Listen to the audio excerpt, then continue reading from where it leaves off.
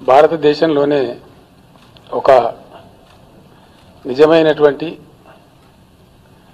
Cosmopolitan నగరంగా గొప్ప చారిత్రక నగరంగా ప్రసిద్ధిగాంచినటువంటిది మన హైదరాబాద్ నగరం. ఈ నగరానికి ఒక చరిత్ర ఒక వారసత్వం ఒక వైవిధ్యభరితమైనటువంటి సంస్కృతి ఒక విలక్షణమైనటువంటి జీవన విధానం ఉన్నటువంటి మహానగరం ఈ నగరం. ప్రపంచం నలుమూలల నుంచి ఎక్కడి నుంచి ఎవరు వచ్చినా అందరినీ కూడా హక్కున చేర్చుకొని తన ఒడిలో చేర్చుకొని ఉద్యోగాన్ని ఉపాధిని కల్పించి ఒక ట్రుత్ఫుల్లీ కాస్మోపాలిటన్ సిటీ నిజమైనటువంటి కాస్మోపాలిటన్ నగరంగా ఉంది. దేశంలో చాలా చోట్ల కనిపించవు కానీ మన హైదరాబాద్లో గుజరాతీ గల్లీ ఉంటుంది. పార్సీ గుట్ట ఉంటుంది. సింధీ కాలనీ ఉంటుంది. అరబ్ గల్లీ ఉంటుంది. ఇట్లా అరవమాలలు ఉండేటువంటి అరవాల ప్రాంతం ఉంటుంది. ఎందరికో ఆడవాలంగా ఉంటుంది.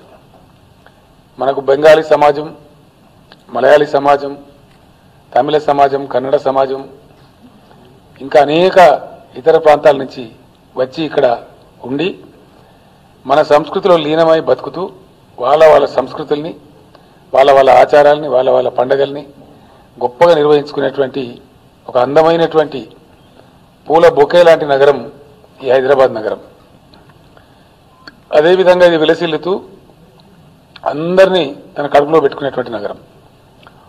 ఈ నగరాన్ని తెలంగాణ రాష్ట్ర సాధన జరిగిన తర్వాత చాలా చక్కటి నగరంగా విశ్వవ్యాప్తమైనటువంటి కీర్తి ప్రతిష్ట వచ్చే విధంగా నగరాన్ని ముందుకు తీసుకొని పోయే ఎజెండాను టీఆర్ఎస్ ప్రభుత్వం అమలు చేస్తూ ఉంది.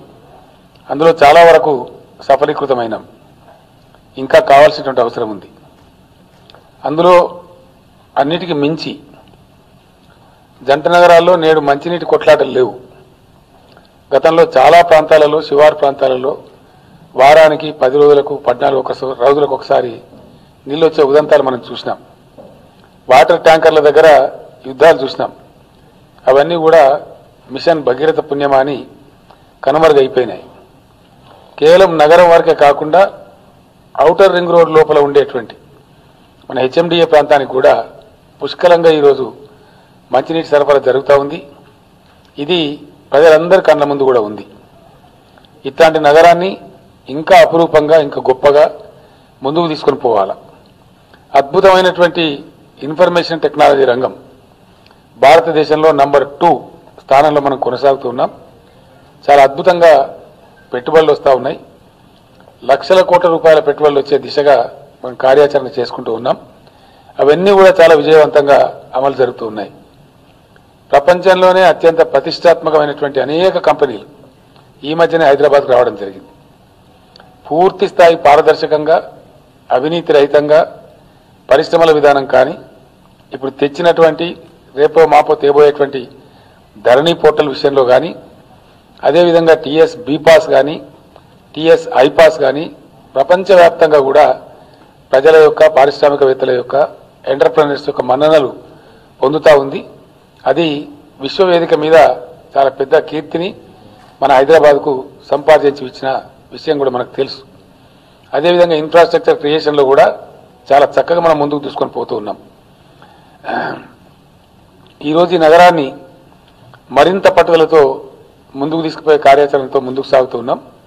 ఇక్కడ ఉన్నటువంటి అనేక ప్రాంతాల నుంచి వచ్చిన ప్రజలు కావచ్చు విభిన్న సంస్కృతులకు చెందిన ప్రజలు కావచ్చు పేదలు కావచ్చు ధనికులు కావచ్చు అందరినీ కూడా ఒక సమదృష్టితోని ఒక మంచి విధానంతోని ఒక సామరస్యపూర్వక వాతావరణంలో నగరాన్ని ఇదే విధంగా ముందుకు తీసుకొని పోవాలని టీఆర్ఎస్ రాష్ట్ర ప్రజలతో పాటు పర్టికులర్లీ జంట నగరాల ఎన్నికలు పురస్కరించుకొని జంట నగరాల భవిష్యత్ భాగ్యం కోసం భవిష్యత్ అభివృద్ధి కోసం టీఆర్ఎస్ ప్రతిపాదిస్తున్న ఎజెండా తీసుకొని అర్థం చేసుకొని టీఆర్ఎస్తో హైదరాబాద్ అభివృద్ధి ప్రయాణంలో చేయి చేయి కలిసి ముందుకు రావాలని టీఆర్ఎస్ అభ్యర్థులను పెద్ద ఎత్తున గెలిపించాలని గతంలో ఇచ్చిన విజయానికంటే ఇంకా ఉన్నతమైన విజయాన్ని చేకూర్చాలని నేను జంట నగరాల ప్రజలకు విజ్ఞప్తి చేస్తూ ఈ ఎన్నికల ప్రణాళికను ప్రకటిస్తున్నాను. కొన్ని మార్పులు చేర్పులు ఇప్పటికే తెచ్చాం జిహెచ్ఎంసీ చట్టంలో. రాబోయే కొద్ది రోజులలో జిహెచ్ఎంసీకి ఒక సమగ్రమైనటువంటి చట్టం. పూర్తి స్థాయిలో అద్భుతంగా అన్ని రకాల పారదర్శకంగా అవినీతి రహితంగా ఉండే విధంగా ఖచ్చితంగా ఒక సమగ్రమైన చట్టాన్ని తెస్తామని చెప్పి మనం చేస్తా ఉన్నాం. ప్రజలకు హామీ ఇస్తా ఉన్నాం. టీఎస్ బీపాస్ ఏదైతే తెచ్చినామో దాన్ని తూచా తప్పకుండా అమలు చేస్తాం. ఇప్పుడు అందరు కూడా గమనిస్తా ఉన్నారు ధరణి చాలా మందికి చాలా అనుమానాలు ఉండేటివి. టీఆర్ఎస్ తెచ్చినటువంటి అనేక కార్యక్రమాలు యావత్ దేశమే ఆశ్చర్యపోయే విధంగా ఉన్నాయి. మిషన్ భగీరథ ఇనీషియల్గా ఎవరికి నమ్మకం లేదు. ట్వంటీ ఫోర్ అవర్స్ పవర్ ఇనీషియల్గా ఎవరికి నమ్మకం లేదు. సాగునీటి రంగం ఇనీషియల్గా ఎవరికి నమ్మకం లేదు. కాటి వీటన్నిట్లలో ఇండియా చరిత్రలో ఏ రాష్ట్రం కూడా సాధించినంత వేగంగా అనితర సాధ్యంగా అనన్య సామాన్యంగా వీటన్నిటిని నిజాలు చేసి ప్రజల అనుభవంలోకి తెచ్చింది టీఆర్ఎస్ పార్టీ.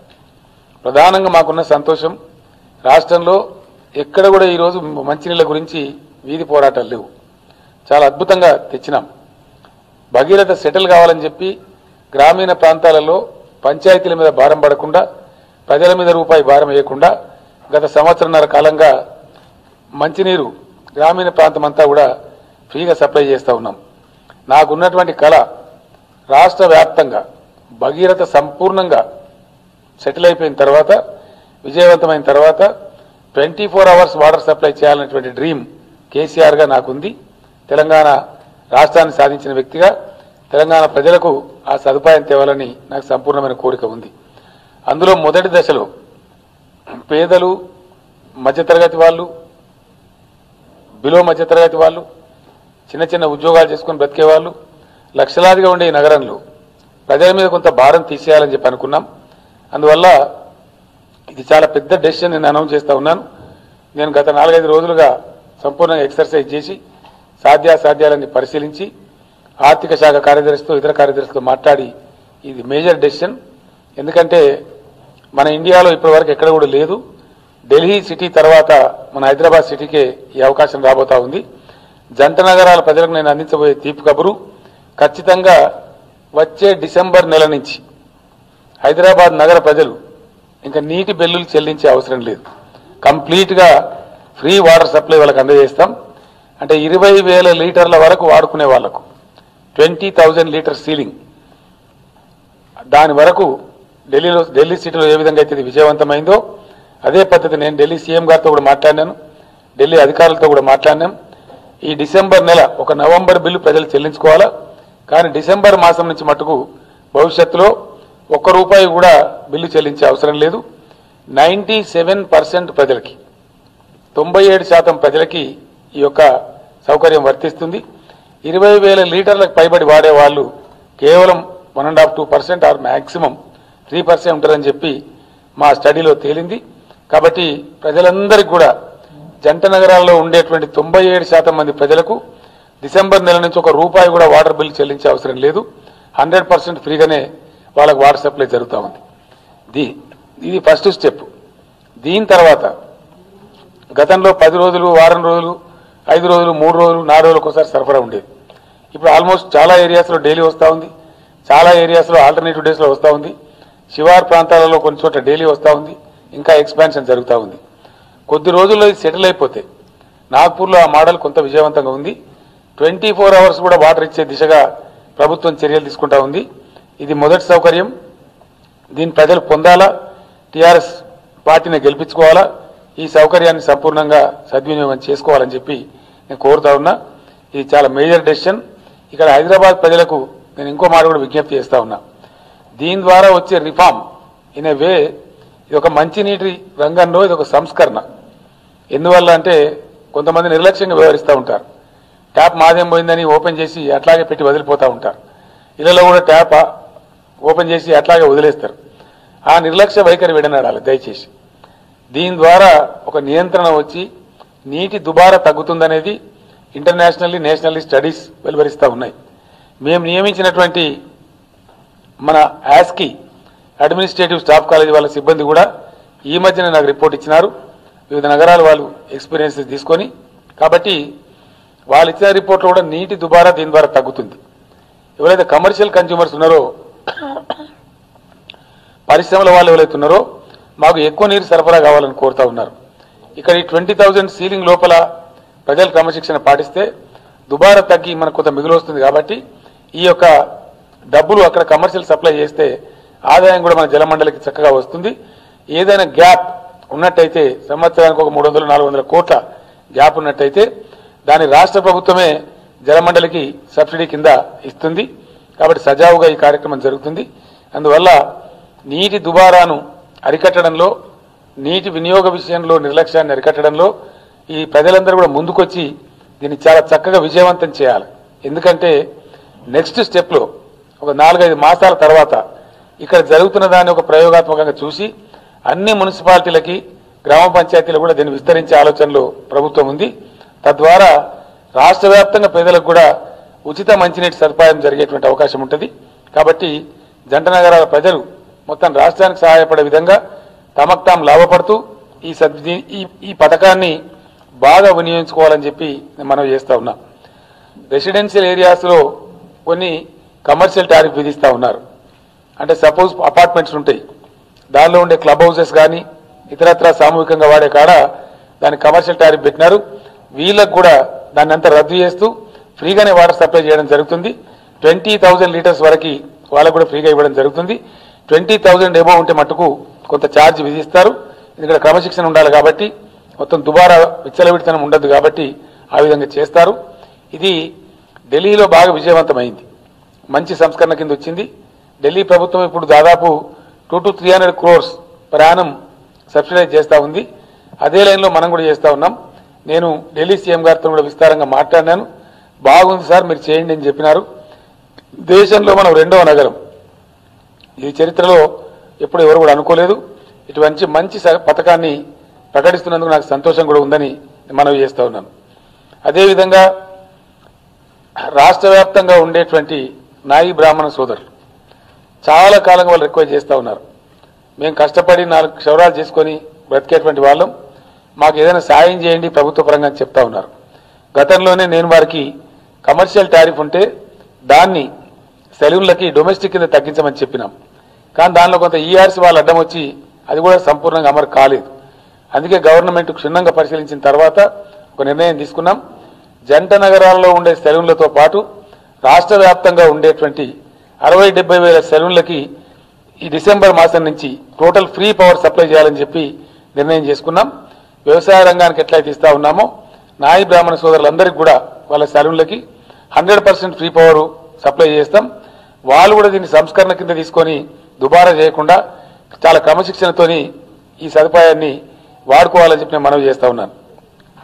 అదేవిధంగా సమాజంలో ఎంబీసీల కింద ఉన్నటువంటి నాయి బ్రాహ్మణులు అదేవిధంగా రజక సోదరులు వీళ్ళు కూడా ముందు నుంచి డిమాండ్ చేస్తూ ఉన్నారు. చాలా ప్రభుత్వాలు కొన్ని ప్రయత్నాలు చేసినా చాలా అరకొరగా వాళ్ళకు సప్లై జరుగుతూ ఉంది. అని చేత వాళ్ళు కూడా కోరుతున్నది ఏంటంటే మేము కూడా కష్టపడి బట్టలు ఉతికి సమాజానికి సేవ చేసి బ్రతికే వాళ్ళం. మాకు కూడా ఆదుకోండి అని వాళ్ళు చెప్తా ఉన్నారు. కాబట్టి రాష్ట్ర వ్యాప్తంగా జీహెచ్ఎంసీతో పాటు రాష్ట్ర వ్యాప్తంగా ఉండేటువంటి లాండ్రీస్ మరియు ధోబీఘాట్స్కి వాళ్ళు వాడుకునే నీటికి కానీ ధోబీఘాట్ల వాడుకునే కరెంట్ కానీ వాటన్నిటికి కూడా డిసెంబర్ మాసం నుంచి ఫ్రీ పవర్ సప్లై ప్రభుత్వం చేస్తూ ఉంది. హండ్రెడ్ పర్సెంట్ సబ్సిడీ మీద. కాబట్టి ఎంబీసీలుగా ఉన్నటువంటి ఇద్దరు అటు నాయి బ్రాహ్మలు కావచ్చు ఇటు దోబీస్ రజక సోదరులు కావచ్చు. ఇది ఎందుకోసం చేస్తా ఉన్నామంటే మనకు కొందరికి అర్థం కాని విషయం. నేను చాలాసార్లు చెప్పినాను. సఫాయి కార్మికుల విషయంలో కూడా ఇటీవల కొంత జీతం పెంచినాం. ఇంకా కొంత పెంచాల్సిన అవసరం ఉండే. రాబోయే రోజుల్లో పెంచుతాం డెఫినెట్గా ఎందుకు పెంచినామంటే దానికి ప్రబలమైన కారణం ఉంది. కోవిడ్ వచ్చినా ఇంకో విపత్తు వచ్చినా డెఫినెట్గా మనలందరినీ కాపాడేది వాళ్ళు. ఫ్రంట్ లైన్ వ్యారియర్స్ వాళ్ళు సఫాయ్ అన్నా నీకు సలాం అన్నా అని చెప్పి నేను చెప్పడం జరిగింది గతంలో. ఎందుకంటే సమాజ సేవ వాళ్ళు చేసేది. చేసేది ఉద్యోగమైనా బాధ్యత అయినా వాళ్ళు చేసే గొప్ప సేవ సమాజానికి అందిస్తున్న సేవ కాబట్టి వాళ్ళని గుర్తించాల్సిన అవసరం ఉంది. వీళ్ళు ఈ రెండు వర్గాలు ఎవరైతే నాయి బ్రాహ్మణులు ఉన్నారో ఎవరైతే రజక సోదరులు ఉన్నారో వీళ్ళు చేసే సేవ కూడా వాళ్ళందరూ మనకు బట్టలు ఉతికి పెడుతున్నారు కాబట్టి మనం శుభ్రంగా బట్టలు వేసుకొని ఇప్పుడు బయటికి రాగలుగుతా ఉన్నాం. లేకపోతే మనమంతా మురికిగా ఉంటాం. అది వృత్తి వాళ్ళు పుట్టబోసుకున్నా సమాజానికి వాళ్ళు చేసే గొప్ప సేవ కాబట్టి అది సామాజిక సేవ కింద గుర్తించి వాళ్ళకి చేయడం జరుగుతూ ఉంది. అదేవిధంగా నాయి బ్రాహ్మణులు. ఆ వృత్తి మీద వాళ్ళ పాపం వాళ్ళ జీవనాధారం పెట్టుకున్నా వాళ్ళ వృత్తి కింద ఉన్నా మనకందరికీ వాళ్ళకి క్షౌరం చేయండి మనకు జరగదు. నాయి బ్రాహ్మణులు మనకు క్షౌరం చేయకపోతే మనం అంతా గుడ్డేళ్ళలాగా కనపడతా ఉంటాం. నేను గతంలో కూడా చెప్పిన ఇది వాస్తవం. ఎందుకంటే అది వాళ్ళ పని అని మనం అనుకుంటాం. కానీ సమాజంగా శుభ్రంగా ఉంచే భాగాన్ని మొత్తం సమాజాన్ని శుభ్రంగా ఉంచే బాధ్యత రజక సోదరులు తీసుకుంటా ఉన్నారు. సమాజాన్ని మన కేశాలను సంస్కరించి మనం అందంగా కనపడే విధంగా మనకు చక్కటి క్రాప్ మంచి తలకట్టు తీర్చిదిద్దే బాధ్యత నాయి బ్రాహ్మణ సోదరులు తీసుకుంటా ఉన్నారు. కాబట్టి వాళ్ళ యొక్క సేవ గుర్తింపుగా చాలా కాలంగా ఇది పెండింగ్లో ఉండే. కాబట్టి వీళ్ళకి ఈ సందర్భంగా ఈ కానుకల్ని అందిస్తూ ఉన్నాం. తర్వాత ఈ కరోనా చాలా పెద్ద దెబ్బతీసింది. రాష్ట్ర ఆర్థిక వ్యవస్థను దెబ్బతీసింది. యాభై రెండు వేల కోట్లు యాభై రెండు వేల ఏడు వందల యాభై కోట్లు సుమారు రాష్ట్ర ప్రభుత్వానికి నష్టం కలిగింది ఆర్థికంగా. అదేవిధంగా అనేక వర్గాల ప్రజలకు కూడా కొంత నష్టం కలిగించింది. అది మనందరికీ కూడా తెలుసు. ఆ రకంగా బాధపడ్డ వాళ్ళలో మేము మొత్తమే తీయలేదు సార్ మాకు చాలా ఇబ్బంది జరిగిందని చాలామంది ఈ మధ్య నాకు కలిసి చెప్పారు రిప్రజెంటేషన్స్ పంపించారు ఎమ్మెల్యేలకు చెప్పారు మంత్రులకు చెప్పారు. ఈవెన్ అసెంబ్లీ జరుగుతుండగా చాలామంది మా మినిస్టర్స్ కూడా నన్ను డిమాండ్ చేశారు. ఎందుకంటే మేము అసలు షాపే తెరవలేదు ఎక్కడి నుంచి కట్టాలా? బార్ షాపులు బంద్ చేసినాం. రెస్టారెంట్లు బంద్ చేసినాం. Total lockdown ప్రకటించినాం. హోటల్ అన్ని బంద్ చేసినాం.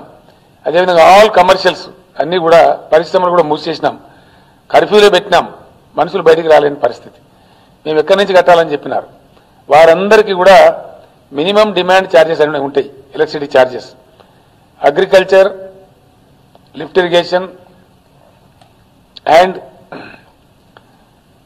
ఈ రెండు మెయిన్గా మినహాయిస్తే అండ్ డొమెస్టిక్ కనెక్షన్స్ అంటే గృహ వినియోగం. మిన మినహాయిస్తే మిగిలిన ఆల్ కమర్షియల్స్ వీటికైతే ఉన్నాయో వాటికి మినిమం డిమాండ్ ఈ కరెంట్ ఛార్జీలు రద్దు చేయమని చెప్పి అందరూ అడుగుతా ఉన్నారు.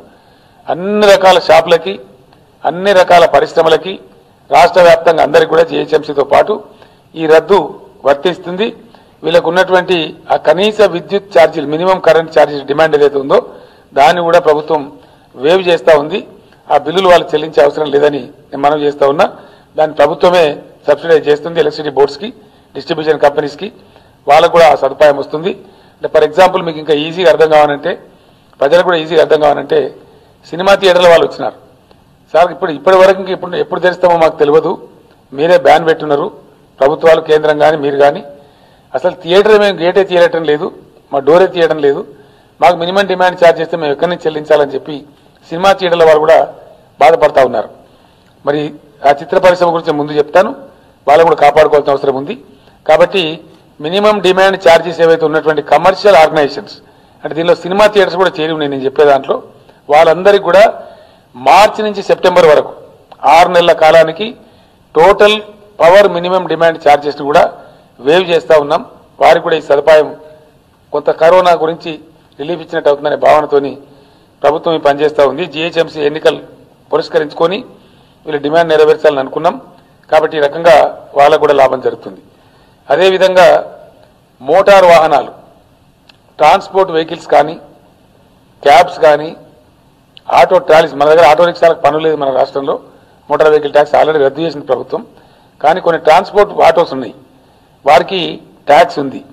అదేవిధంగా ఇతర వాహనాలని మనం చూసే లక్షలాది మొత్తం రాష్ట్ర వ్యాప్తంగా మూడు లక్షల ముప్పై ఆరు వేల పైచిలకు వాహనాలు ఉన్నాయి ట్రాన్స్పోర్ట్ వెహికల్స్ వాళ్ళందరూ కూడా మాకు కూడా ఈ సిక్స్ మంత్స్ పీరియడ్ అంటే రెండు త్రైమాసికాలకు వాళ్ళ క్వార్టర్లీ పన్ను ఉంటుంది మనందరికి తెలుసు. ఈ టూ క్వార్టర్స్ ఎందుకంటే మార్చి నుంచి సెప్టెంబర్ వరకు మాకు రద్దు చేయండి దయచేసి మేము కష్టంలో ఉన్నామని కోరుతూ వచ్చినారు. వాళ్ళు కూడా ఈ సందర్భంగా ఆ దాదాపుగా రెండు వందల అరవై ఏడు కోట్ల రూపాయల పన్నది. Each quarter one thirty three crores ఉంటుంది. ఆ పన్నును కూడా రద్దు చేస్తా ఉన్నాం. వాళ్ళకు కూడా రిలీఫ్ వస్తుంది.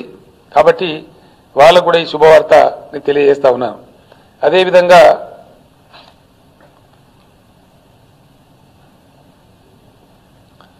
సినిమా పరిశ్రమ. ఇది కూడా చాలా దారుణంగా దెబ్బతిన్నటువంటి పెద్ద పరిశ్రమ. పర్టికులర్లీ మన దగ్గర చాలా పెద్ద ఎత్తున ఉంది. ఈ పరిశ్రమ దీన్ని కూడా ఆదుకోవాల్సిన బాధ్యత మన మీద ఉంది. ముంబై చెన్నై హైదరాబాద్ ఈ మూడే చిత్ర పరిశ్రమకు చాలా పెద్ద ఆయుపట్టుగా ఉన్నటువంటి ప్రాంతాలు. అందులో దాదాపుగా నలభై వేల మంది కార్మికులు పనిచేస్తా ఉన్నారు. ఈ నలభై వేల మందిలో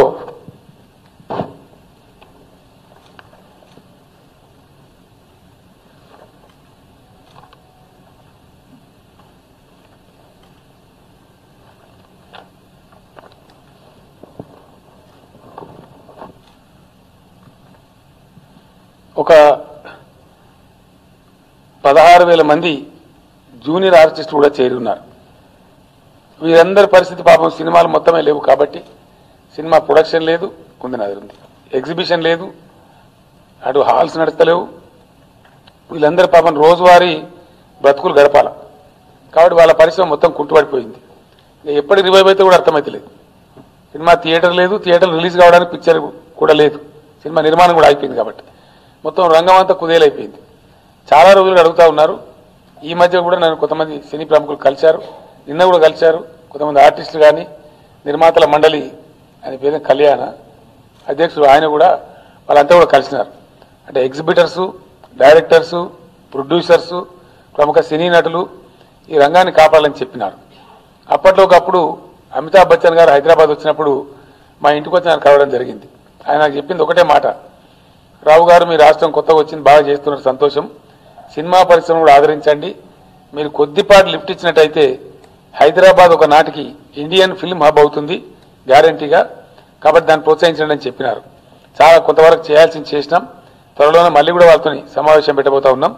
ఈ సందర్భంగా వారికి నేను చెప్పేది ఒకటే. వారికి ఆ నలభై వేల మంది కార్మికులు ఎవరైతే ఉన్నారో వాళ్ళు పుట్టబోసుకుని పాపం డైలీ వేజెస్ లాగా బతికే వారు ఉన్నారు. వారందరికీ కూడా రేషన్ కార్డ్స్ కానీ హెల్త్ కార్డ్స్ కానీ ఇతర సదుపాయాలు మామూలు ప్రజలకు ఇచ్చినట్టు అందరికి కల్పిస్తాం. తప్పకుండా రాబోయే కొద్ది రోజులలో వాళ్ళందరి అప్లికేషన్లు వాళ్ళని తయారు చేస్తామని చెప్పారు పరిశ్రమ వాళ్ళు. తప్పకుండా వాళ్ళకి ఆ సదుపాయాలు కూడా కల్పిస్తాం. రెండవది ఇందాక నేను చెప్పినట్టు థియేటర్లన్నిటికీ ఆ కనీస మినిమం ఛార్జీలను మిగతా పరిశ్రమలకు మిగతా కమర్షియల్స్కు మిగతా షాప్స్కేమో ఆరు నెలల కోసమే రద్దు చేశాం. వీళ్ళది ఇంకా స్టార్ట్ కాలేదు కాబట్టి ఎప్పుడైతే వీళ్ళు స్టార్ట్ అవుతాయో సినిమా థియేటర్లు అప్పటి వరకు వాళ్ళకి రద్దు చేస్తామని చెప్పి మనం చేస్తా ఉన్నాం. దాని గవర్నమెంటే సబ్సిడైజ్ చేస్తామని చెప్పి నేను తెలియజేస్తా ఉన్నా. అది కాకుండా చిన్న సినిమాలని ఉంటే మనకు తెలుసు లో బడ్జెట్ పిక్చర్స్ అని. పది కోట్ల రూపాయల లోపు నిర్మించే బడ్జెట్తో నిర్మించే సినిమాలు ఉంటాయి. అందులో చాలామంది జూనియర్ ఆర్టిస్టులు చిన్న చిన్న వాళ్ళు పనిచేస్తూ ఉంటారు. వాళ్ళు నిన్న చెప్పినారు నాకు దయచేసి దాని మీద మాకు మినాయింపు ఇవ్వాల? GST state portion nine percent ఉంటుంది. ఎయిటీన్ పర్సెంట్ జిఎస్టీ ఉంటే దానిలో స్టేట్ జిఎస్టీ తొమ్మిది పర్సెంట్ ఉంటుంది. ఆ నైన్ పర్సెంట్ మాకు మినహాయింపు ఇవ్వాలని కోరారు. మినహాయింపు కాదు మినహాయింపు వసూలు చేయండి. మాకు బెనిఫిట్ రావాలంటే చిత్ర పరిశ్రమ బతకాలంటే నిలబడాలంటే మీరు దాన్ని రీఎంబర్ చేయండి అని కోరారు. రాష్ట్ర ప్రభుత్వం వసూలు చేయండి. మాకు రీఎంబర్ చేయండి. ఒక ప్యాకేజీ లాగా వస్తుంది. సో చిన్న పరిశ్రమలు పది కోట్ల లోపు చిత్రాలు నిర్మించేటువంటి నిర్మాతలకు ఒక ఊతంగా ఉంటుంది. పరిశ్రమ బతుకుతుందని ఒక కాన్ఫిడెన్స్ వస్తుంది కాబట్టి చేయమని చెప్పారు.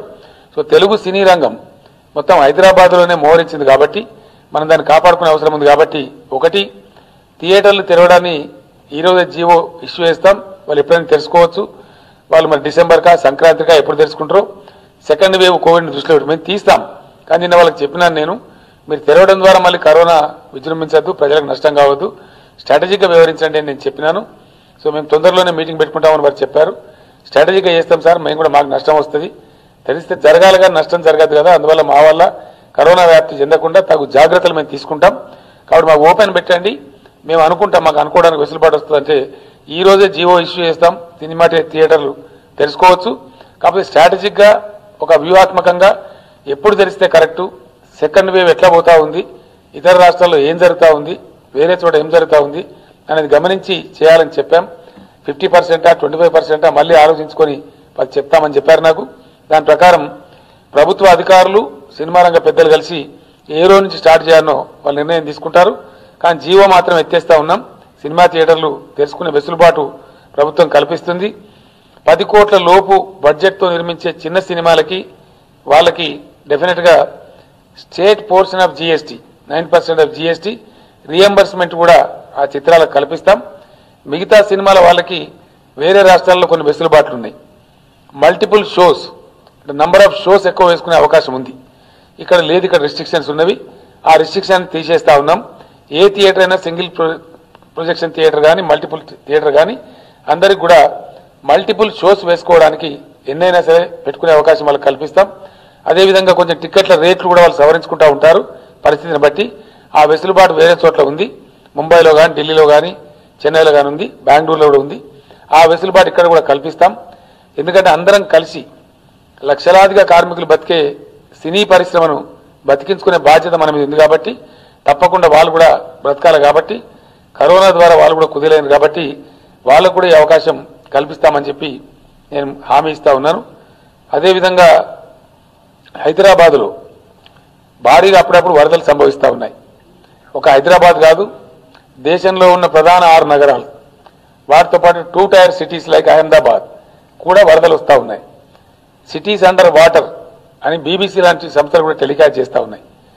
Madras twenty one days under water Chennai నగరం. Mumbai fourteen days under water కార్లు కూడా మునిగిపోయిన పరిస్థితి. బెంగళూరు అండర్ వాటర్ అన్ని సిటీలు కూడా. కోల్కతా అండర్ వాటర్ మొన్న హంఫాన్ తుఫాన్ వచ్చినప్పుడు. నిన్నగాక మొన్న హైదరాబాద్లో క్లౌడ్ బర్స్ట్ వస్తే ఇక్కడ కూడా అండర్ వాటర్ ఈ విషయాన్ని దేశ ప్రధానమంత్రి గారికి నేను స్వయంగా లేఖ రాసి చెప్పడం జరిగింది. అప్పుడున్న అర్బన్ డెవలప్మెంట్ మినిస్టర్ గారికి స్వ- ప్రధానమంత్రి గారికి కూడా నేను చెప్పినాను దేశం యొక్క face the face of India ఈ ఆరు నగరాలు. దేశ రాజధాని ఢిల్లీతో పాటు కోల్కతా చెన్నై హైదరాబాద్ బెంగళూరు ముంబై. ఈ మహానగరాలు దేశానికి ప్రతిబింబాలుగా ఉన్నాయి. ఫారిన్ డిగ్నటరీస్ ఎవరు వచ్చినా ఇక్కడికే వస్తారు. కాబట్టి వీటిని మున్సిపల్ బాడీస్కి మాత్రం వదిలేయకుండా దయచేసి వీటికి స్పెషల్ కౌన్సిల్స్ పెట్టాలా? ఆయా రాష్ట్రాల ముఖ్యమంత్రులు అధ్యక్షులుగా ప్లస్ కేంద్ర ప్రభుత్వం ప్రతి నగరానికి ప్రతి సంవత్సరం ఒక ఆరు వేల కోట్ల రూపాయల బడ్జెట్ ఇవ్వండి. మేము కూడా దానికి ప్రతిగా ఒక ఆరు వేల కోట్లు పెడతాం. సంవత్సరానికి ఒక పది పన్నెండు వేల కోట్లు పెడితే ఈ యొక్క దురాక్రమణలు జరిగిన నాలాలు కబ్జాలు పెట్టినాయి కానీ రెయిన్ వాటర్ డ్రైన్స్ పోకుండా చేసినాయి కానీ అని క్లియర్ చేయడానికి అవకాశం వస్తుందని చెప్పాం.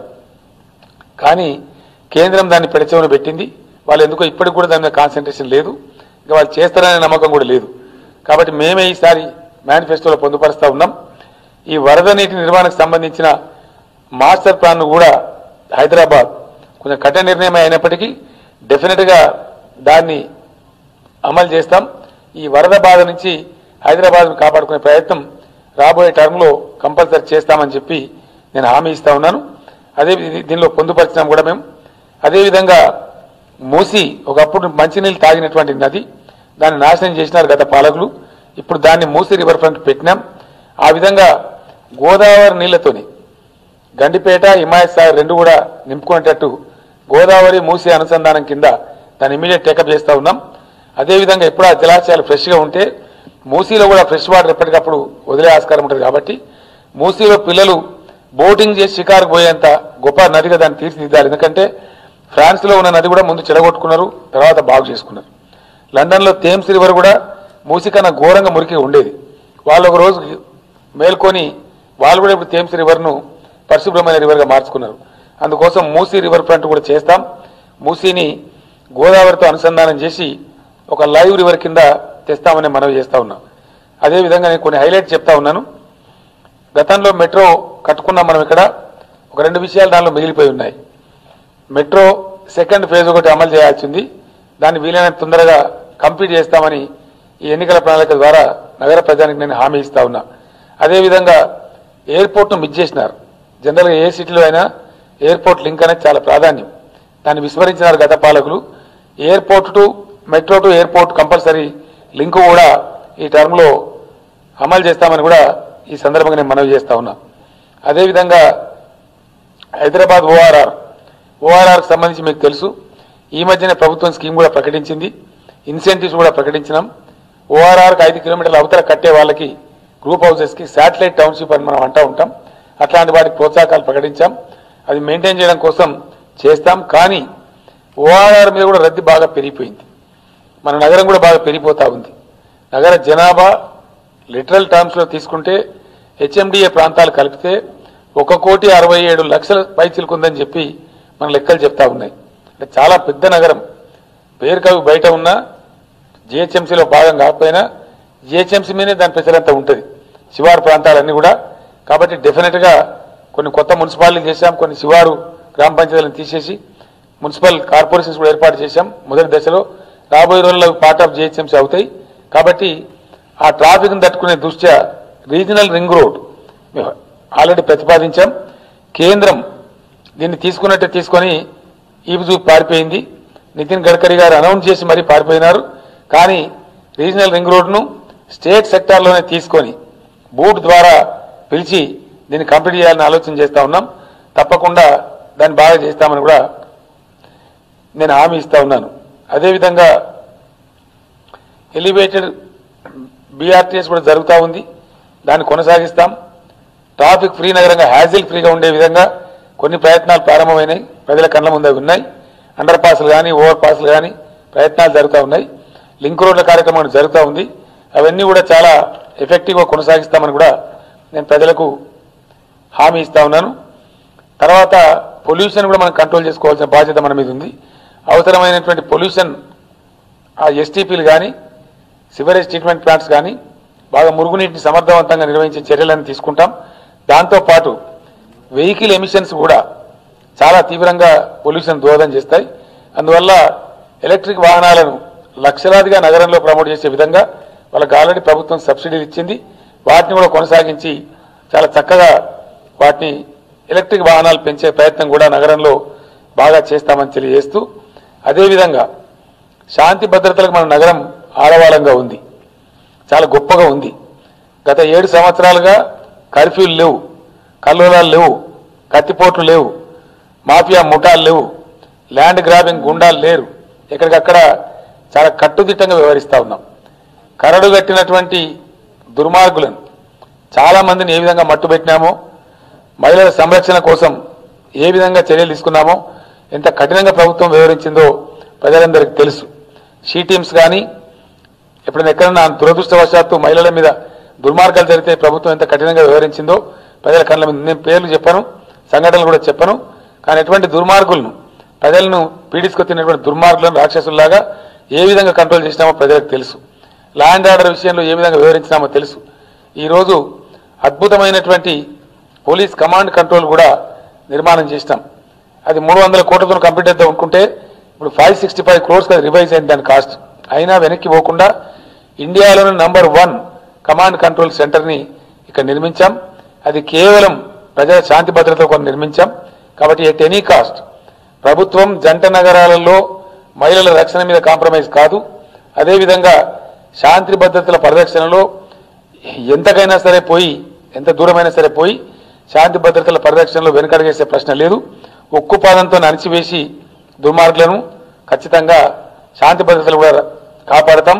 ఆ రకంగా ఒక మంచి అన్ని వర్గాలు అన్ని మతాలు అన్ని కులాలు అందరి ప్రజలు కూడా సామరస్యంగా సహజీవనం సాగిస్తున్న ఈ నగరంలో ఎటువంటి ఇబ్బందులు లేకుండా అద్భుతమైన శాంతి భద్రతలతోని ముందుకు ప్రజలు బతికే విధంగా ఏర్పాటు చేస్తాం.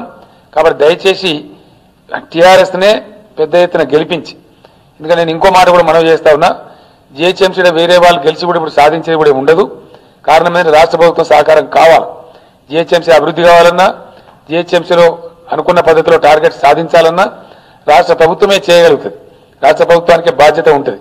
రాష్ట్ర ప్రభుత్వంతోనే అది సాధ్యమవుతుంది ఆ విధంగా అన్ని కూడా కొనసాగిస్తాం.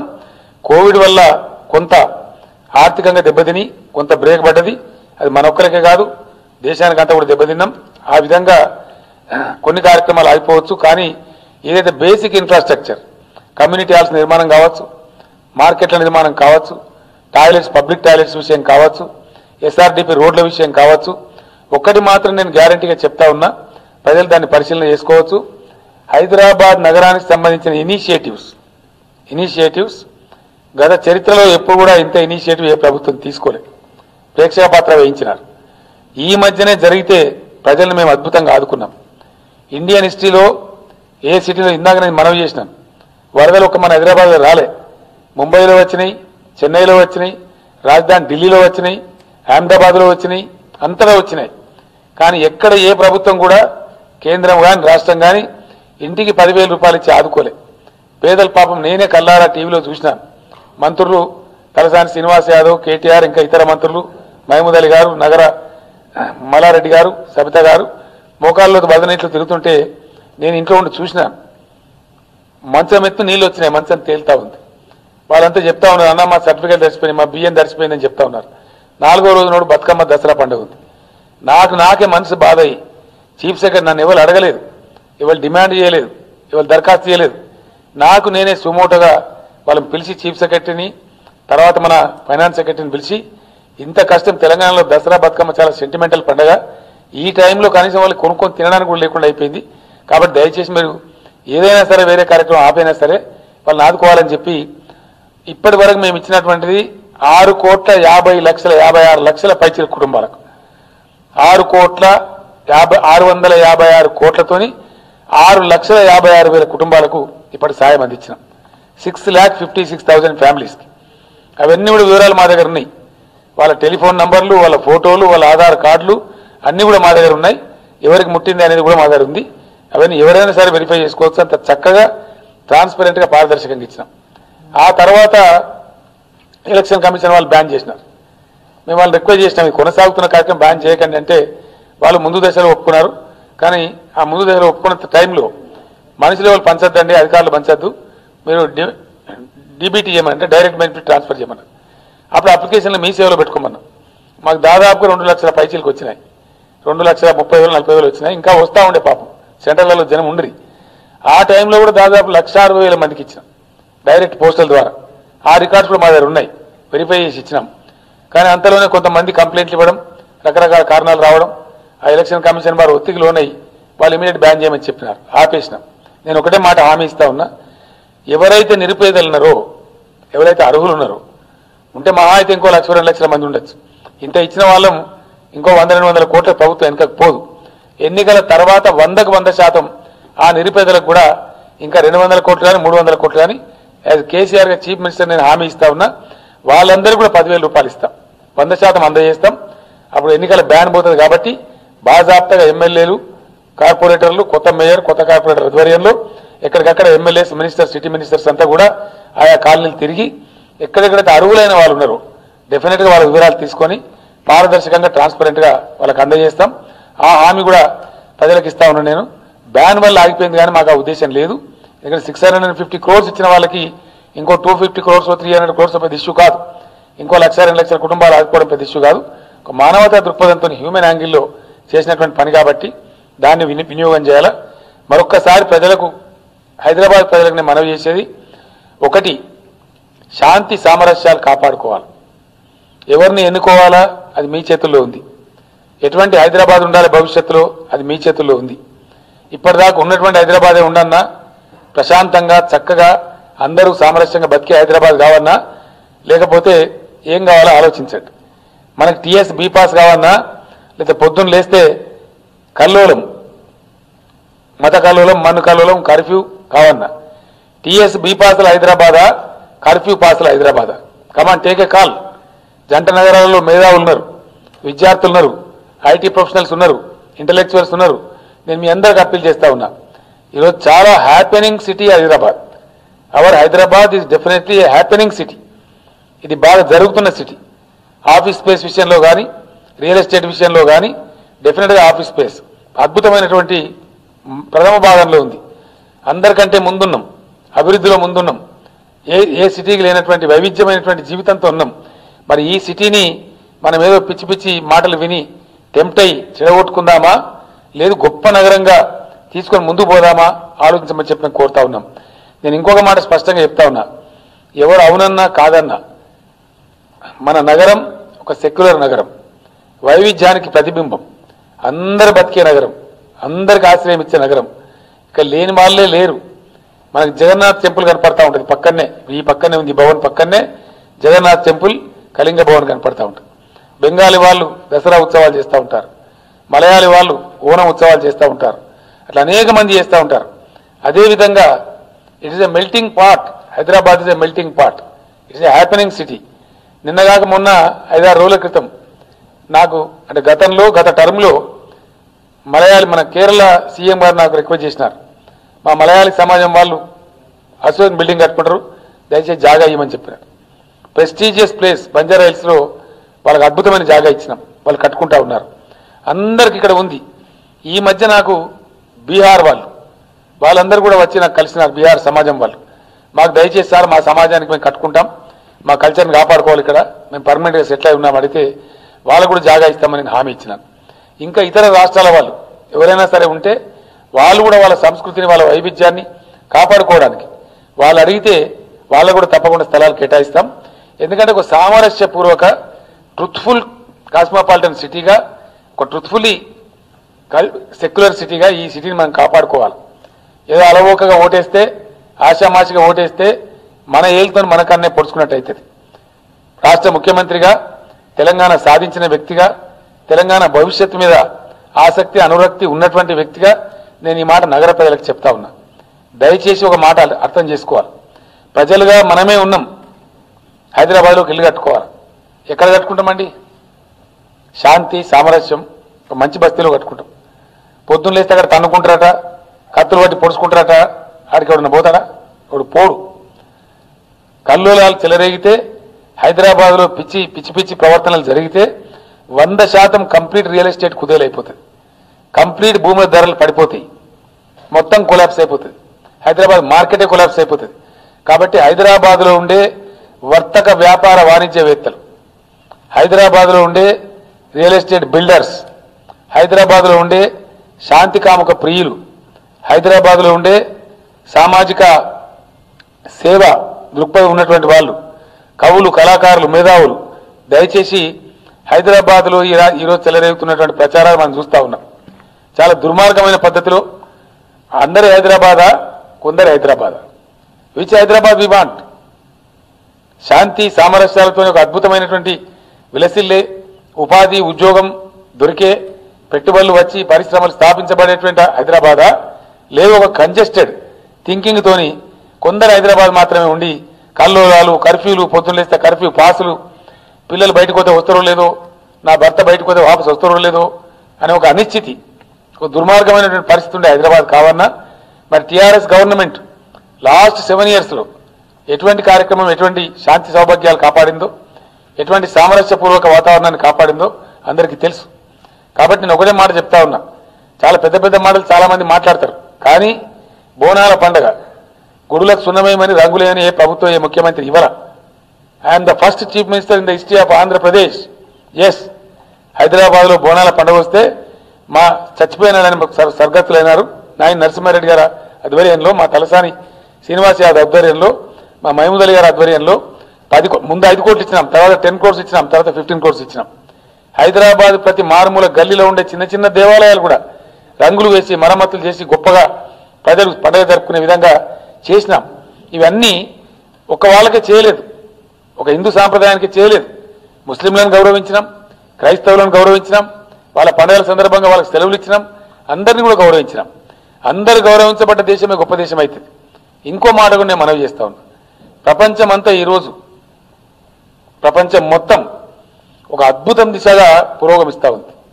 వసుదైక కుటుంబ పురోగమిస్తూ ఉంది. బ్యారియర్స్ అని చెరిగిపోతూ ఉన్నాయి. హద్దులు చెరిగిపోతూ ఉన్నాయి.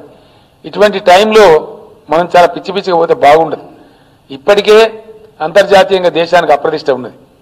ఆ మధ్య చైనా నుంచి వచ్చిన ఇంటలెక్చువల్స్ ఫోరం నాకు కలిసినారు. నాతో మాట్లాడినప్పుడు చెప్పినారు. ఒక కమిటీ వేసినారు చైనా దేశంలో. ఇండియాలో కూడా నూట ముప్పై ఐదు కోట్ల జనాభా ఉంది కదా. వీళ్ళు ఏదో ఒక రోజు అవేకనైతే వీళ్ళ ద్వారా వచ్చే మనకు వచ్చే పాసిబుల్ థ్రెట్స్ వ్యాపారంలో కానీ ఇంకో రంగంలో కానీ ఏమిటి అని పరిశోధన చేయమని ఒక కమిటీ చేసినారు చైనా దేశం వాళ్ళు. వాళ్ళకి ఒక సంవత్సరం టైం ఇచ్చినారు. రిపోర్ట్ ఇవ్వమని చెప్పి. వాళ్ళు మూడు నెలల్లోనే రిపోర్ట్ ఇచ్చినారు. ఏమైనా మీకు సంవత్సరం టైం ఇస్తే త్రీ మంత్స్లోనే ఇచ్చినారంటే వాళ్ళు ఒకటే మాట చెప్పినారు. ఇండియాలో ఇప్పుడు కూడా కులాల పేరు మీద మతాల పేరు మీద కొట్టుకొని చస్తున్నారండి వాళ్ళు మనతో నడిపోటీ పోటీ పడాలా పడలేరు సాధ్యం కాదని చెప్పి మనకు అసలు వాళ్ళు లెక్కించుకో అవసరం లేదని చెప్పినారు ఈ అపప్రద కొన్ని శక్తుల వల్ల కొంతమంది వ్యక్తుల వల్ల కొన్ని దుర్మార్గ వితండ వాదనల వల్ల మనకు ఆల్రెడీ దేశానికి కొంత వస్తూ ఉంది. కానీ హైదరాబాద్ దాని నుంచి అవే ఉంది. తెలంగాణ రాష్ట్రం దాని సగం కావడం లేదు. అందుకే మనకు పెట్టుబడులు వస్తూ ఉన్నాయి. అద్భుతంగా వస్తూ ఉన్నాయి. మన ఒకే ఒక కంపెనీ ఇరవై ఒక్క వేల కోట్ల పెట్టుబడి పెట్టింది. దాంతో ఉపాధి వస్తుంది. ఉద్యోగాలు వస్తాయి. పిల్లలు బ్రతుకుతారు. కానీ ఒక భగభగమండే హైదరాబాద్ వస్తే విద్వేషాలతో రగిలిపోయే హైదరాబాద్ వస్తే రోజు అనునిత్యం కర్ఫ్యూలు కల్లోలాలు కత్తిపోట్ల హైదరాబాద్ వస్తే మనకు అది మంచిది కాదు. మన పిల్లలకు మంచిది కాదు. ఇప్పుడు ఏదో అలవోకగా తమాషగా ఓటేస్తే ఆ ఓటు మనల్ని కాటేసే ప్రమాదం ఉంటుంది. తప్పుడు వ్యక్తులకు తప్పుడు శక్తులకు ఓటేస్తే అది ఓటు కాదు మనల్ని కాటేసేటువంటి ఒక కారణాలు అవుతుంది. కాబట్టి చాలా జాగ్రత్త. నేను తెలంగాణ పెద్దగా తెలంగాణ ముఖ్యమంత్రిగా తెలంగాణ సాధించిన వ్యక్తిగా ఈ మాట చెప్పడం నా బాధ్యత. యాక్చువల్గా మేనిఫెస్టో గతంలో నేను రిలీజ్ చేయలేదు. కానీ ఇది జరుగుతున్న తతంగం చూసి నేనే చెప్పాలి డెఫినెట్గా ప్రజలకి నా బాధ్యత. చెప్పాల్సిన ధర్మం నా మీద ఉందని నేను చెప్తా ఉన్నాను. మనకు ఒకటే మాట నేను అడుగుతానే మొన్న మా పార్టీ సమావేశాన్ని కూడా చెప్పినాను మీరు అడగండి హైదరాబాద్ ఇంటలెక్చువల్స్ని హైదరాబాద్ ప్రజల్ని ఏ హైదరాబాద్ను తెలంగాణ కోరుకుంటా ఉంది? ఈ హైదరాబాద్ సమాజం ఏ రకమైన హైదరాబాద్ను కోరుకుంటా ఉంది? అద్భుతంగా ముందు పోయి ప్రగతి ఉండి హైదరాబాద్ కావాలన్నా రోజు అగ్గిమండి హైదరాబాద్ కావాలన్నా. ఏ హైదరాబాద్ కావాలి? ఇది కామన్ టేకే కావాలని చెప్పి నేను చెప్పడం జరిగింది. అదేవిధంగా కొన్ని ప్రైవేట్ స్కూల్స్ వాళ్ళు కూడా వాటర్ కనెక్షన్ కావాలని అడుగుతా ఉన్నారు. మాకు ఇవ్వండి మాకున్న వాటిని మాఫీ చేయమని అడుగుతా ఉన్నారు. ఆటోమేటిక్ వచ్చేస్తుంది. ప్రైవేట్ స్కూల్ కానీ తర్వాత కొన్ని చిన్న చిన్న చారిటబుల్ ట్రస్ట్ వాటి కూడా ఉన్నాయి. అది నెక్స్ట్ నేను ఇప్పుడు చెప్పను. తప్ప నన్ను ఐ కెనాట్ ప్రామిస్ నేను స్టడీ చేయలేదు. వాటర్ వరకు డెఫినెట్లీ మేము డిసిషన్ తీసుకున్నాం కాన్షియస్లీ దాని వరకు చేస్తాం. హండ్రెడ్ పర్సెంట్ వాళ్ళు ఏవైతే ప్రైవేట్ స్కూల్స్ చిన్న చిన్న చార్టీ స్కూల్స్ మామూలు కొద్ది బస్తీలలో ఉండేటువంటి చిన్న చిన్న పేదలు చెప్పుకునే స్కూల్స్ ఏవైతున్నాయో డ్రింకింగ్ వాటర్ సప్లైకి అన్ని మాఫీ అవుతాయి ఆటోమేటిక్గా వాడికి ఇబ్బంది లేదు. ప్రైవేట్ స్కూళ్ళ బస్సులకు కూడా ఈ ట్యాక్స్ వర్తిస్తుంది ట్యాక్స్ మాఫీ అనేది ఏది మార్చి నుంచి సెప్టెంబర్ వరకు రెండు టర్మ్స్కి రెండు త్రైమాసికాలకు సంబంధించినటువంటి ఆ ట్యాక్స్ రద్దు అనేది అన్ని వాహనాలు రాష్ట్రంలో ఉండేటువంటి మూడు లక్షల అరవై ఆరు వేల వాహనాలకు వర్తిస్తే వాళ్ళకు కూడా వర్తిస్తుంది. దే విల్ బి సేఫ్డ్ స్కూళ్ళకు ఉన్నటువంటి వాటర్ ట్యాప్ కనెక్షన్లకు కూడా వాళ్ళు తక్కువనే వాడతారు కాబట్టి అదంతా పేద పిల్లలే కాబట్టి చారిటీ స్కూల్స్ కాబట్టి వాళ్ళకు కూడా వర్తిస్తుంది. ఇంకా ఉన్నట్టు మీరు నాకు చెప్పండి జీవో ఇష్యూ చేసేటప్పుడు అది కూడా ఇష్యూ చేద్దాం. కాబట్టి దానికి ఇబ్బంది లేదు. అది ఒక లిబరల్ వ్యూ తీసుకున్న తర్వాత వాళ్ళకు కూడా దానిలో వర్తిస్తుంది. ఆ రకంగా చాలా అప్రమత్తంగా హైదరాబాద్ ప్రజలు కాన్సన్ట్రేషన్ తీసుకోవాలా? మంచి నిర్ణయాలు తీసుకోవాలా? ఆ విధంగా మనం ఒక ఇంకో మాట నేను ముగించే ముందు ఒక మాట చెప్తా ఉన్నా. తెలంగాణ ప్రగతి ప్రస్థానంలో కరోనా మనకు కొంత దెబ్బ కొట్టింది. కొట్టి ఉండకపోతే ఇంకా ఉజ్వలంగా పోయి ఉంటాం. చాలా ఉజ్వలంగా పోయి ఉంటాం. దేశం సాధించలేనటువంటి అద్భుతమైన ప్రగతిని తెలంగాణ సాధించింది. ఇది ఊరికే సొల్లు మాటలు పొల్లు మాటలు కాదు. ఇది దేశ ఆర్థిక మంత్రిత్వ శాఖ ప్రకటించినటువంటి వివరాలు ఇవి. ఇవి కేసీఆర్ కవిత్వం కాదు లేదా టీఆర్ఎస్ ప్రభుత్వ లెక్కలు కావు. సెంట్రల్ గవర్నమెంట్ ప్రకటించిన ఫిగర్స్. కరోనా దెబ్బ తలిగినా ఏ విధంగా రాష్ట్రం ఉంది ఏ విధంగా దేశం ఉంది మనకు అర్థమవుతుంది. దేశం యొక్క జీడిపి రెండు వేల పదమూడు పద్నాలుగు రెండు వేల పద్నాలుగు సంవత్సరం తెలంగాణ వచ్చినప్పుడు దేశం యొక్క ఇది రాష్ట్రంది కాదు కంట్రీది. Seventy nine thousand one one eight ఇప్పుడు అది పోయింది one thirty four thousand four thirty two the growth is only nine point two Telangana GSDP two thousand ఫోర్టీన్లో లక్షా పన్నెండు వేల కోట్లు. ఇప్పుడు more than double two lakh twenty eight thousand crores కొంత మనకు దెబ్బ కొట్టినా ఈ విధమైన ప్రగతి తెలంగాణ సాధించింది. The growth is twelve point six percent ఇది ఇండియాలో ఏ రాష్ట్రానికి కూడా లేదు. ఈరోజు పేరు గొప్ప ఊరు దిబ్బ అన్నట్టు మనకన్నా చాలా పెద్ద రాష్ట్రాలు ఉన్నాయి మనం ఈరోజు భారతదేశంలో ఐదవ స్థానంలో ఉన్నాం. ఒకప్పుడు పదమూడవ ప్లేస్లో ఉన్నాం. టూ థౌజండ్ ఫోర్టీన్లో our place was thirteen today ఇవన్నీ అఫిషియల్ రికార్డ్స్ నా రికార్డ్స్ కావు ఇవి. ఈ గవర్నమెంట్ ఆఫ్ ఇండియా ప్రకటించిన షీటే ఇది. గుజరాత్ ఎనిమిదవ స్థానం. మహారాష్ట్ర పదవ స్థానం బీహార్ ఇరవై తొమ్మిదవ స్థానం రాజస్థాన్ పద్దెనిమిదవ స్థానం మధ్యప్రదేశ్ ఇరవై మూడవ స్థానం వెస్ట్ బెంగాల్ పంతొమ్మిదవ స్థానం. ఆంధ్రప్రదేశ్ ఎక్కడి నుంచి అయితే మనం విడిపోయినామో వాళ్ళు పదమూడవ స్థానం కానీ మనం తెలంగాణ ఐదవ స్థానం. పెద్ద రాష్ట్రాలలో మనకన్నా ఒకే ఒక రాష్ట్రం కొంచెం ముందుంది దట్ ఇస్ కర్ణాటక. మిగిలిన చిన్న చితక రాష్ట్రాలని ఢిల్లీ గోవా ఇట్లాంటి టిపికల్ స్టేట్స్ ఉన్నాయి. పెద్ద జనాభా ఉన్న రాష్ట్రాలలో మనకన్నా ముందు ఒకటే ఒక రాష్ట్రం. అది కూడా టూ ల్యాక్ థర్టీ థౌసండ్ మనం ట్వంటీ ఎయిట్ థౌసండ్ కోరుస్తున్నాం వాళ్ళు థర్టీ థౌసండ్ కోరుస్తున్నాం స్వల్ప తేడాతో అంటే ఆల్మోస్ట్ నంబర్ వన్ టూ ప్లేస్లో దేశానికి మనం ఎదిగినాం. ఈ- ఈ ఒక్క రంగంలోనే కాదు ప్రగతి పదంలో అనేక మెట్లున్నాయి. మీరు రోజు పేపర్లో మంచినీటి రంగంలో మనం ninety nine percent per capita power యూటిలైజేషన్లో తలసరి విద్యుత్ వినియోగంలో నంబర్ వన్ అట్లానే అనేక రంగాల్లో ఉన్నాం. కాబట్టి ఈ సదుపాయాలన్నీ ఒక మంచి సామరస్యపూర్వక హైదరాబాద్ ఉంది కాబట్టి శాంతియుత సహజీవనం ఇక్కడ కొనసాగుతుంది కాబట్టి చరిత్రలో ఎవరు ఊహించినటువంటి బస్తీ దవాఖానలు తెచ్చినాం. ఎక్కడికి వెళ్ళి తెచ్చినాం? పద్ధతిగా జరిగింది కాబట్టి బడ్జెట్ ఉంది కాబట్టి వనరులు ఉన్నాయి కాబట్టి తెచ్చినాం. ఇలా బస్తీ దేవకానాలు నిరుపేదలు ఉండేటువంటి బస్తీలలో ప్రజలకు ఒక వరంగా పరిణమించినాయి. ప్రతిరోజు వేరే ఇతర ఏ సిటీలో కూడా ఉండదు సదుపాయం. యాభై వేల మంది పేదలకు అన్నం పెడతా ఉన్నాం. నిరంతరంగా ఎవ్రీ డే ప్రతి జోక్ ప్రతిదినం అంతకుముందు చరిత్ర కూడా ఎవరు ఊహించలేదు. ఇంతమంది సదుపాయం వస్తుంది. మొన్న కరోనా వస్తే నేనే చెప్పి మున్సిపల్ మంత్రికి మున్సిపల్ శాఖ వాళ్ళకి చెప్పి మీకు అవసరం వస్తే నేను స్టేట్ నుంచి డబ్బులు ఇస్తానని చెప్పి దాన్ని లక్ష యాభై వేలకి తీసుకెళ్ళినాం. వన్ అండ్ హాఫ్ ల్యాక్ వరకు కూడా పెట్టినాం. ఐదు రూపాయలు కూడా బంద్ చేసి ఫ్రీగా ఇచ్చినాం. అది రెండు పూట్ల అన్నం పెట్టినాం. కరోనా ఉంది కాబట్టి ఇంత మంచి సోషల్ కన్సర్న్తోని ప్రభుత్వం పనిచేస్తూ ఉంది. నగరాన్ని కాపాడుకుని ముందుకు పోయింది. కాబట్టి ఈ సామరస్యాన్ని ఈ శాంతిపూర్వక వాతావరణాన్ని దెబ్బతీసుకోకుండా ఉండాలి. ఈ మత శక్తులకు విచ్ఛిన్నకర శక్తులకు తావివ్వకుండా సేమ్ హైదరాబాద్ను కాపాడుకుంటూ మనం ముందుకు పోవాలి. ఇంకొక మాట ఫైనల్గా నేను మనవి చేస్తా ఉన్నా. మాటలు చెప్పేవాళ్ళు చాలా పెద్ద పెద్ద మాటలు చెప్తారు. కానీ చేతల కాడికి వస్తే అంత శూన్యంగానే ఉన్నది. ఇలా దేశాన్ని పరిపాలించే పార్టీ అట్టర్ ఫ్లాప్ అయింది. ఇది చెప్పడం నా బాధ్యత ప్రజలకి. అంతకుముందు కాంగ్రెస్ పార్టీ అటర్ ఫ్లాప్. అన్ని సంవత్సరాలు పరిపాలిస్తే నేను చాలాసార్లు చెప్తా ఉన్నా మాట. ఇప్పుడు చెప్పడం కూడా నా కర్తవ్యం కాబట్టి చెప్తా ఉన్నా. దేశాన్ని పరిపాలించిన రెండు పార్టీలు సోకాళ్ళు జాతీయ పార్టీలు అని చెప్పుకునే పార్టీలు రెండిటికి రెండు కూడా కంప్లీట్లీ ఫ్లాప్ అయిపోయినాయి. ఈ దేశానికి ఒక దిశ దశ ఒక మార్గదర్శనం చేయడంలో వాళ్ళకి అసలు అవగాహన కలగలేదు.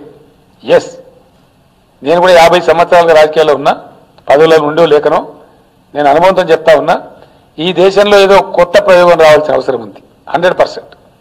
వీళ్ళిద్దరు ఫ్లాప్ అయిపోయినారు కాకపోతే కథలు చెప్తారు స్టోరీ చెప్పి నడుపుతారు. ఇవాళ రియాలిటీ ఏందండి? ఇరవై నాలుగు పర్సెంట్ జీడిపి క్రాష్ అయిపోయింది. బట్టి డంబాచారాలు డొంబాచారాలు మొత్తం చెప్పచ్చు కట్టుకథలు పిటకథలు చెప్పచ్చు. కంప్లీట్గా నాశనం అయిపోయింది. దేశంలో సంపద సృష్టించే తెలివితేటలు ఈ రెండు పార్టీలు కూడా లేవు. నేను వ్యక్తులను అనడం లేదు. ఏ ఒక పర్సన్ నేను అనడం లేదు. I don't want criticise a person రెండు పార్టీలు పార్టీల పాలసీలు అట్టర్ ఫ్లాప్ అయిపోయినాయి. Utter flop. వీళ్ళ ద్వారా ఏమీ జరగదు ఈ దేశానికి. నేను గ్యారంటీగా చెప్తా ఉన్నా. వందకు వంద శాతం. డిజిన్వెస్ట్ అనే ముతు ముసుగులో డిజిన్వెస్ట్మెంట్ అనే ముసుగులో బడ్జెట్ సమకూరుస్తూ ఉన్నారు. సిగ్గుపడకుండా సిగ్గుపడాలి. దేశంలో సంపద సృష్టించే ప్రభుత్వం రావాలి. ఆ సంపదను పేదలకు పంచే ప్రభుత్వం రావాలి. Yes that is what we did తెలంగాణలో లక్ష పన్నెండు వేల కోట్లు ఉంటే దాన్ని రెండు లక్షల ఇరవై ఎనిమిది వేల కోట్లు తీసుకొని పోయినా. That is something like creating wealth దాన్ని పేదలకు పంచుతా ఉన్నాం అనేక రూపాలలో. ఏ రాష్ట్రంలో లేని విధంగా ఇలా రెండు వేల పదహారు రూపాయలు పెన్షన్ ఇస్తా ఉన్నాం. ఆషామాషి కాదు అంత ఈజీ కాదు. రెండు వందల పెన్షన్ రెండు వేల పదహారు తీసుకెళ్ళినాం. తమాషా కాదు సంపద లేకపోతే ఎక్కడి నుంచి ఇవ్వగలుగుతాం? ఇవ్వలేం. మేము ఎన్నికల వాగ్దానం చెప్పి తప్పించుకోలేదు. గూఢకంగా తప్పించుకోలేదు. కాబట్టి సంపద పెంచేటువంటి విధానంలో రెండు పార్టీలు కూడా ఫెయిల్ అయిపోయినాయి. సంపద పెంచలేదు. అదే మన పక్కనున్న చైనా అద్భుతంగా పెరిగిపోయింది. మనకన్నా ఘోరంగా ఉన్న చైనా పెరిగిపోయింది. అంటే ఈ దేశంలో ఒక ప్రబలమైనటువంటి మార్పు రావాల్సిన అక్కర ఉంది. ఖచ్చితంగా. దేశం కొత్త మార్గం కొత్త పందా పట్టాల్సిన అవసరం ఉంది. Yes there is a definite need in this country నేను మొన్ననే చెప్పినాను శాసనసభలో కూడా చెప్పినాను. ఈ చిల్లర పంచాయతీలు కిరికిరిలు పెట్టి తాత్కాలిక భావోద్వేగాలు రెచ్చగొట్టి రాజకీయ పబ్బాలు గడుపుకోవడం కాదు. We have to give a direction to the nation దేశం ఒక కొత్త పందాలో కొత్త మార్గంలో కొత్త పద్ధతిని ఆవిష్కరించాల్సిన అవసరం ఉంది. ఆ ఆవిష్కర్తగా బహుశా నేనే ఎదుగుతా కావచ్చు. నాకు ఆలోచన ఉంది. చాలా మందితో నేను మాట్లాడినాను. త్వరలోనే మీరు చూడబోతారు. ఎందుకంటే చాలా బాధ కలుగుతూ ఉంది. ఎల్ఐసి లాంటి సంస్థలు నమ్మేటువంటి అవసరం ఏమొచ్చింది దేశానికి? ఆలోచించాల? అద్భుతమైనటువంటి నవరత్నాలు నమ్మే అవసరం ఏమొచ్చింది? ఇలా ఏం చెప్తారు దేశాన్ని పరిపాలించే పాలకులు నేను సూటిగా అడుగుతా ఉన్నా. Why you people are selling away LIC where is the need దేశంలో నాలుగో స్థానంలో ప్రపంచంలో నాలుగో స్థానంలో రైల్వేని ఎందుకు అమ్ముతా ఉన్నారు? ఏ కారణం చేత అమ్ముతా ఉన్నారు? ఏం సమాధానం చెప్తారు ప్రజలకు? అద్భుతమైన బిఎస్ఎన్ఎల్ ఎవరి ఎవరి కోసం దాన్ని పనంగా పెడతా ఉన్నారు? ఎందుకోసం ఎంత పని చేస్తా ఉన్నారు? ఎవరి ప్రయోజనాలు ఆశించి? కాబట్టి ఇది కరెక్ట్ కాదు. ఇది పద్ధతి కాదు. దేశం పెడమార్గంలో పోతా ఉంది. తప్పుడు మార్గంలో పోతా ఉంది. ఇది ఖచ్చితంగా సరి అయిన ట్రాక్లో పెట్టడానికి కేసీఆర్ మీ బిడ్డగా తెలంగాణ బిడ్డగా అవసరమైతే జాతి ప్రయోజనాల కోసం నేను ఏ త్యాగం చేసినా సరే ముందు కూడా పోతాను. ఒక్కసారి నేను ఎత్తుకుంటే ఏ విధంగా ఎత్తుకుంటున్నా అందరికీ తెలుసు. కాబట్టి ఎవరో చిల్లరగా లేదో పిచ్చి పిచ్చి మాటలు మాట్లాడవచ్చు. కానీ నేను బాగా ఆలోచిస్తా ఉన్నాను మదనం కూడా చేస్తా ఉన్నాను జాతి ప్రయోజనాల పరిరక్షణకు కూడా టీఆర్ఎస్ అగ్రభాగానే ఉంటుంది. నేను మొన్న హామీ ఇచ్చినట్టుగా రాబోయే కొద్ది రోజులలో దేశంలో ఉండే లైక్ మైండెడ్స్ అందరితోని ఒక కాంక్లేవ్ నిర్వహించి ఈ సెంట్రల్ పిఎస్యుల పరిరక్షణకు యుద్ధ పేరు కూడా మోగిస్తాం. సెంట్రల్ పిఎస్యు కార్మికులారా మీరు ఉంటారని అనుకోకండి. మీ పక్షాన కేసీఆర్ పోరాడతాడు. నేను మళ్ళొకసారి హామీ ఇస్తా ఉన్నా. ముందుకు పురోగమించండి. మీకు ఎవరైతే మీ పక్షాన పోరాడుతున్నారో వాళ్ళకు బలం చేకూర్చండి అని ఈ సిపిఎస్యు కార్మికులందరూ కూడా నేను మనవి చేస్తా ఉన్నా.